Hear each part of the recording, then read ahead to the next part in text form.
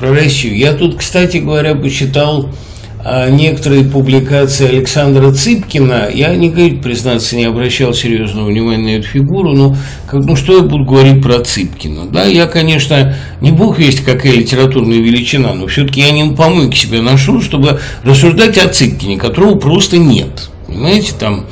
А, но а, то, о чем он говорит, это забавно, он все ездит там по Англии, и все ему попадаются какие-то английские друзья, которые завидуют, что Путин у нас есть, потому что если бы у нас вот, они говорят, если бы Англия могла себя защитить, но мы в военном смысле абсолютно беззащитны, а в Америке два старца, а вот у вас Путин, и, ну и вообще весь мир завидует. Ну, я не знаю, в каком информационном пузыре общается Цыпкин, и каких подворотнях, в каких канавах подбирает он своих собеседников, потому что там а, вот эта тенденция любой ценой присоединяться к силе, просто потому что она сила, так и не дает отчета. Помните, это вякнул Аркадий Николаевич у Тургенева в «Отцах и детях».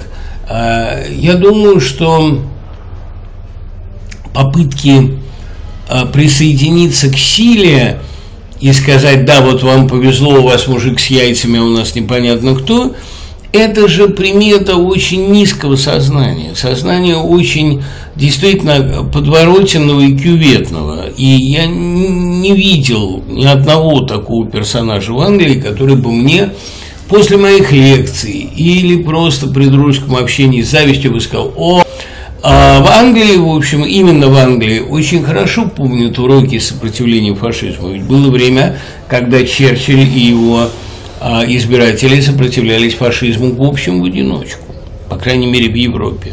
Когда практически а, вся Европа либо легла под Гитлера, либо смирилась с Гитлером, а Россия выступала его союзником подписала с ним договор о ненападении и вместе с ним делила Польшу. Поэтому в Англии очень хорошо понимают и помнят, что бывает с теми людьми, которые соглашаются со злом, которые заигрывают с ним.